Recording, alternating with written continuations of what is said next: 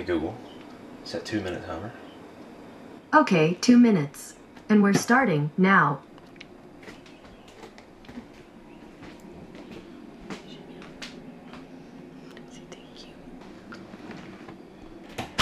Morning, girl. Morning. So what's up, fellow journeyers? So what is it like to be self-isolated in an RV compared to, say, self-isolation in a house? And, and just to be honest, if you're looking at living the RV life, um, a lot of your days could look kind of similar self-isolation in RV, especially if it's raining outside and you're in an unfamiliar area or you're in an area where there's like nothing to do other than maybe the national park you're parked in. So I think one of the big misconceptions we have with RV living when we first started doing it, it reminds me a lot of this box of blocks we got for the kids for Hensley slash JJ's birthday. So when we thought of the RV life, I think we thought of it as like an empty box where we could like do whatever we want, whenever we want. Freedom, right? So that's kind of how we viewed it. Because before we started living in RV,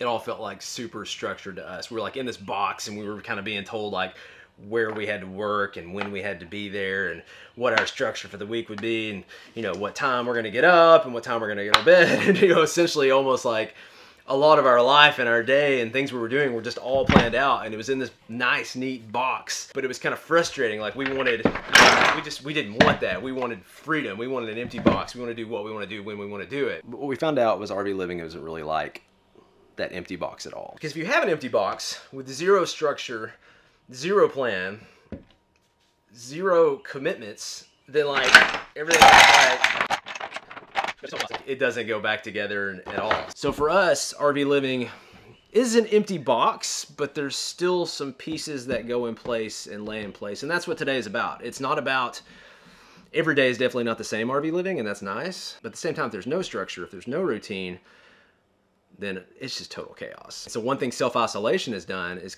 given us an opportunity to practice uh, the obstacle of isolation and that empty box. Here, buddy.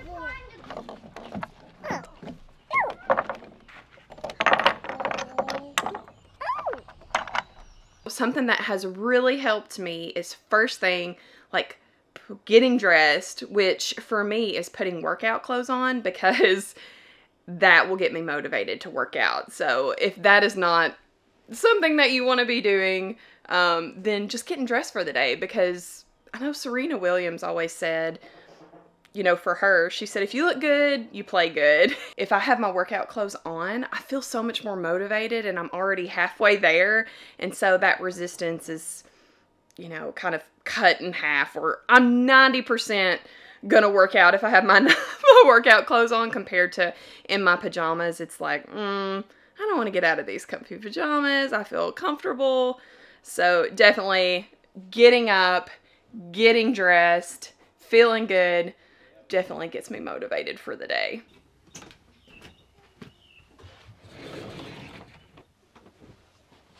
So when it comes to working in an RV or as far as our routine when it comes to work, uh, we have definitely done different things, tried different things. It's varied a lot over the last pretty much five years of living in an RV based on the RV we've been in, based on whether we're moving that day, based on where we're at. Well, now it's starting to be based a lot on honestly when the sun comes up and when JJ wakes up and what we can do. Because when JJ is waking up, I don't know. Yesterday he was up at 5:45. I mean, today he was up a little bit later. It's really shaken up my routine I had for years, where I would wake up at six o'clock and I would work until seven, 7:30 at least, maybe even eight o'clock and then everybody would start getting up and then we'd start our day.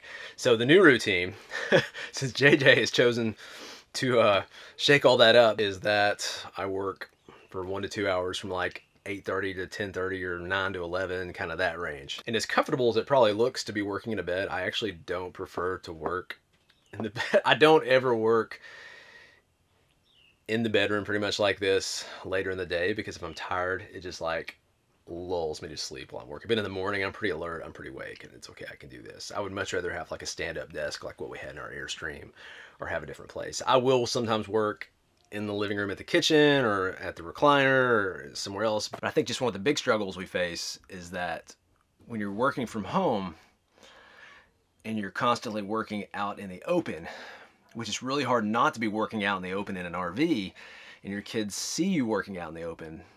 They they want they want you, they need you, or maybe it's sort of like when they see you talking on the phone and they're tugging on you. Maybe they don't, and they just they just want attention because I see they're not getting it. It's very difficult to get work done for me, but then also I don't like that my kids see me working and ignoring them either. So I don't think that's a good thing either. So I, I do try to have find somewhere where I can work and not be seen. So we dropped the truck off for a check engine light and a bunch of other stuff um, last week. So I'm gonna call them.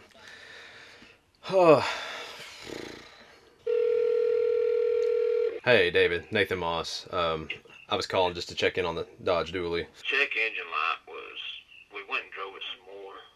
What it done is it picked up a deviation of your uh, coolant. It was showing a large deviation and from when you took off to when you stopped. Somehow it measures it. Huh. Okay.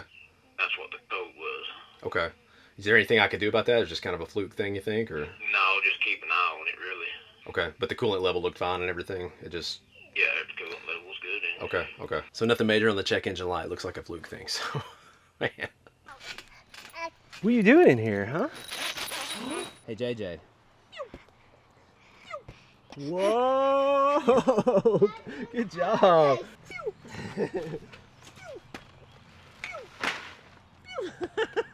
Something strangely therapeutic about throwing balls at your kids. Is a week longer than a year? A week longer than a year. Sometimes it feels like it. Get me out of here. Are you ready for your nap? You getting sleepy? Get the bug catcher quick! You go get it. I'm not touching that thing. He's coming for me. Female elephant beetle. That's a female elephant beetle. That sounds slightly made up, but okay. You're gonna have to help him a little bit, I think, Hensley. He's uh vertically inclined. Go from behind. He might be venomous. He's not venomous. See, buddy.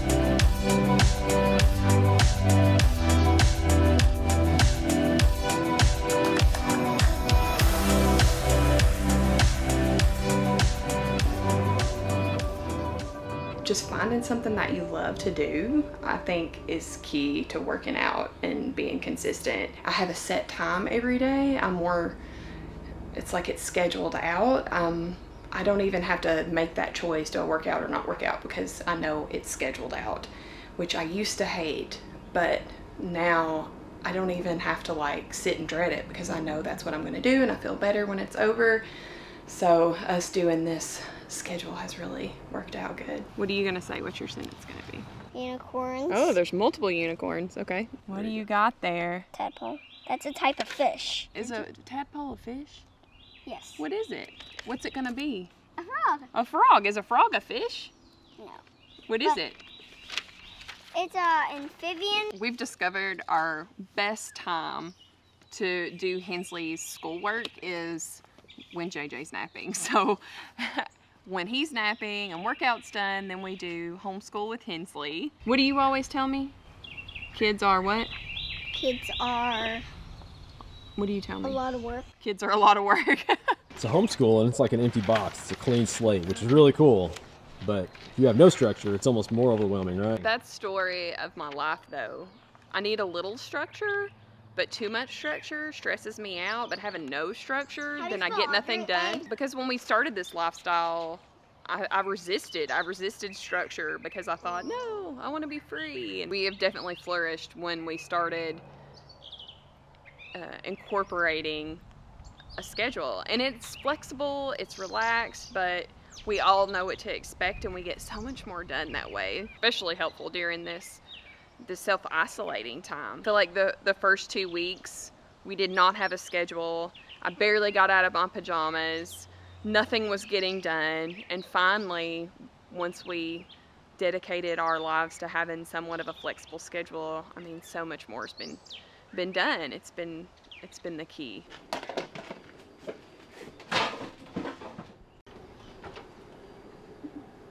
You're thinking hard or hardly thinking?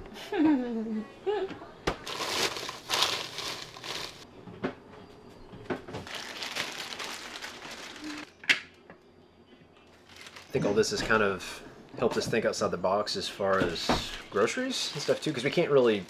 It is one thing about an RV. It's tough to stockpile stuff. We have done more, I guess, online grocery delivery, that kind of thing. Probably had to plan out, I guess, our meals a little more.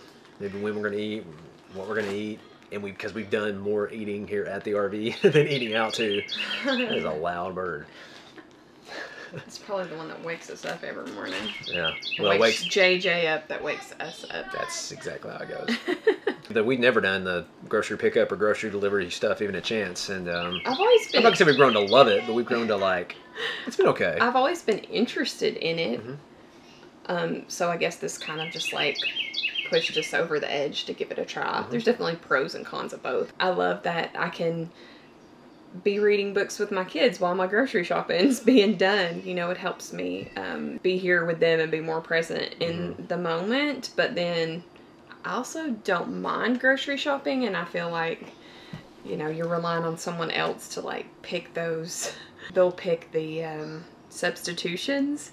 They're interesting sometimes, yeah, the substitutions. But it's frustrating because the stores are out of so much, and I've done all Mm-hmm. my meal planning, and then I didn't get what I needed, and I'm not at the store physically picking things out, so then. Mm-hmm.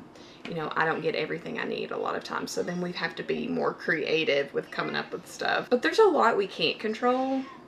But I guess with our food, we try to take control of we can eat healthier, and People don't stockpile the health, healthy stuff as often. either, that's so- true. Usually your you know, usually your organic and healthy stuff Mm-hmm. is still left. We do pretty healthy, and we do once a week. Um, I think some people might stockpile for two or three weeks at a time and get more dried goods and that kind of thing. But that's Mm-hmm. We pretty much eat the more approach we've taken. fresh, more fresh food. Yeah. So by the end of the week, it's time to head back to the store. Had more time to try new recipes out because we have more time being at home. So I actually made chicken salad with Greek yogurt this time instead of using any kind of mayonnaise or anything like that. It's actually really good. You hungry? Want some lunch? It's early afternoons, kind of like my project time, and there's almost always some sort of project to be working on. Sometimes it's nothing more than like just taking the trash or cleaning up out here, that kind of thing. Sometimes it might be something like installing the water filter. Something as simple as trying to keep a bird from building a nest inside of our hitch. This thing will not give up. I've put a, uh, got a fake snake, which is not doing any good. Yeah, I'm sure you can tell what that is right there. Apparently that smell doesn't help at all either. I'm really trying to figure out the best thing to do. I just do not want that thing building a nest here. Not just for us, but for the bird as well. Probably not the best place to have your nest if we're gonna be hooking up and towing this thing. At some point, hopefully. But as uh, the day goes on, kind of make a shift from like mental projects that I do in the morning that require more thinking, creativity, that part of the brain, to as you eat lunch and you have that downtime. That bird. Hey, hey, get out of there. Get out of there. Get out. Get out. Go. Give up. Not for you. Move on. Snake is not doing the trick. He's right there. Moving from more mental, creative type projects to after lunch when you have that lull, kind of doing just getting out, doing some physical stuff in and around uh, the RV, the home base, that kind of thing, uh, has worked really well versus maybe the opposite where I do something physical in the morning and then in the afternoon I've got that mental lull where it takes me twice as long to edit or think about things for the channel or the brand or other projects we're working on. There's gotta be something here that would scare that bird. Are they scared of dinosaurs? You scared of dinosaurs, little bird, huh? That's a pretty scary duo. Let's see how that does. Probably not gonna work. Uh, this makes a lot of noise. Maybe that'll work. Look at all that noise. There we go. There we go. That's a lot of noise.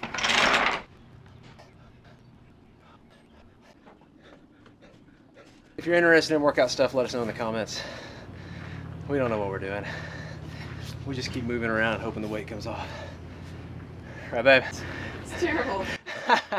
we actually know what to do. We just have a hard time doing it. That's probably probably the core of what most people struggle with when it comes to weight loss and staying in shape. I don't know that it's like super complicated. You overachiever. Are you picking that up? I took some weight off. She usually can't even pick that up. You're barely in the shot. I'll just crop that. That's the wrong foot. Got me all flustered over here.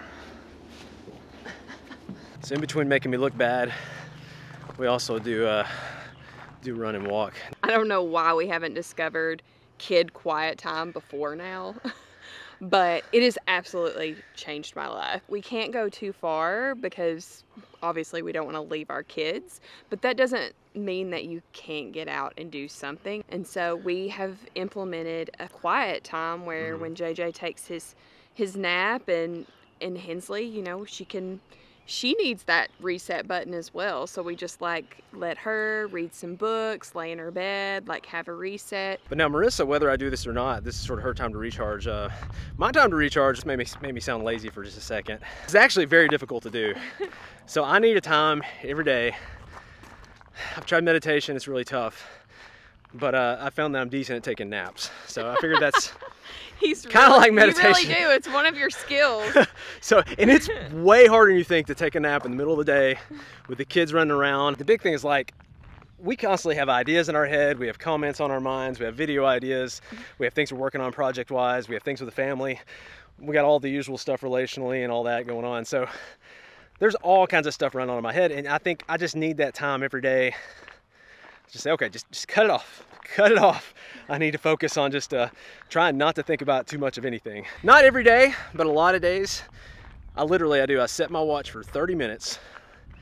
I never sleep that whole 30 minutes. Sometimes I don't sleep at all. I just tell myself I'm gonna close my eyes, turn the lights off, and I do not open my eyes until that alarm goes off after 30 minutes. Sometimes I sleep 25 minutes.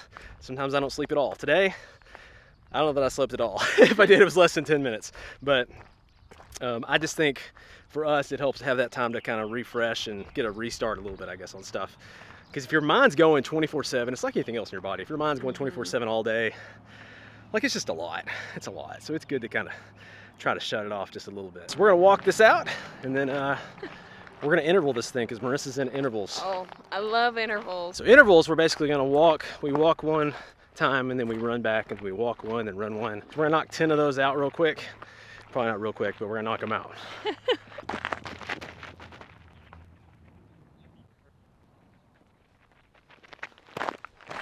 I heard a quote recently by Winston Churchill, and it said, Never let a good crisis go to waste. And that quote literally changed everything for me. Once I heard that, I mean, I've seriously been in this lake, this dark place these past few weeks. I mean, this is just hard on everybody. I know it's just. Um, there's a lot of fear, there's a lot of unknown. It's just a lot to take in. And I'm, even though I'm an introvert, I'm a very social person and my relationships mean a lot to me. So it's been really hard. I just really sunk deep into this this hard place. And when I heard that quote, it kind of changed everything because I thought, you know, that is so true. There is so much unknown and so many things I can't change. I can't change that there's a oh, cat, gosh. I'm jumpy, Pico. I can't change that there's a virus. I can't take it away. I wish I could. I wish that I could take everyone's fear and sadness and grief away. I wish I could make everything go back to normal. But I can't I can't do that and it doesn't change everything if I just wish for that or hope for that. But what I can do is make the best out of the situation. And I can I can work on myself. And I guess I had hadn't done that. I hadn't been focusing on what I was in control of or what I could do and that I could really use this time to be beneficial. And so I started focusing on self-care.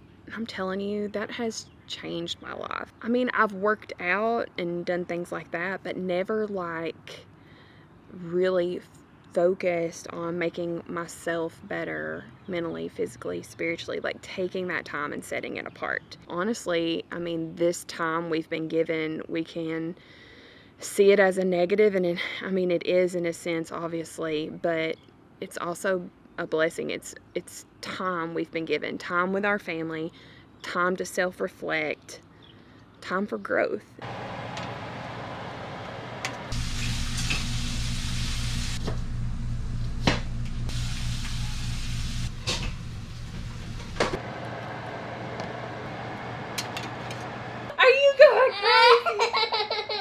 Are you going crazy? You can't go crazy. Aw, don't go crazy. You guys good? What's on the menu tonight? I made some vegetable curry. Tons of vegetables.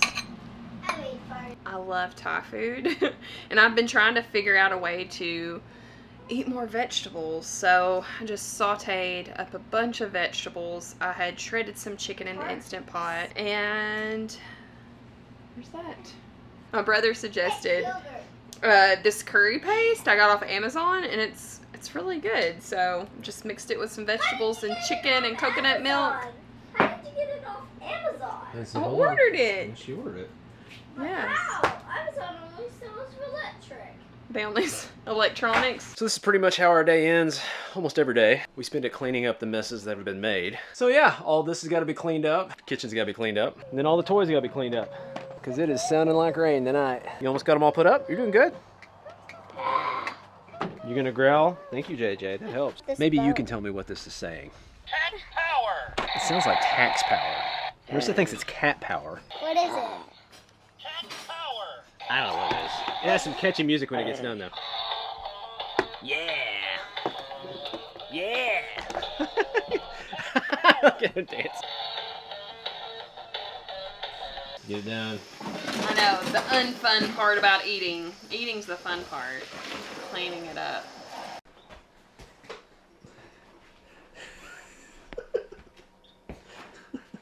Marissa's done. JJ's still going strong. They wear you out, man. It's like a marathon. You just gotta push to the whatever that's called. The finish? Finish line. wow. oh. Da, da. Do you want to read it? Sure. Where's the backpack? Hensley's shoes? Peekaboo. She told me this is big blanket. Okay, big blanket. Peekaboo.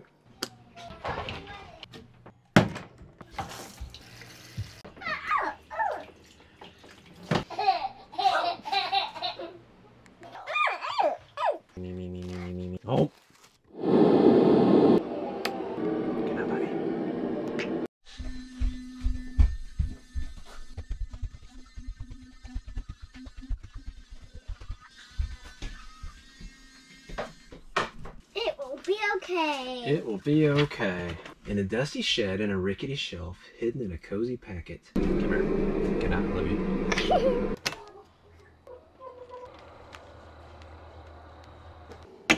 I don't know what this is gonna look like when I edit this, but it felt like a long day. Well, every day when you're self isolating feels like a long day.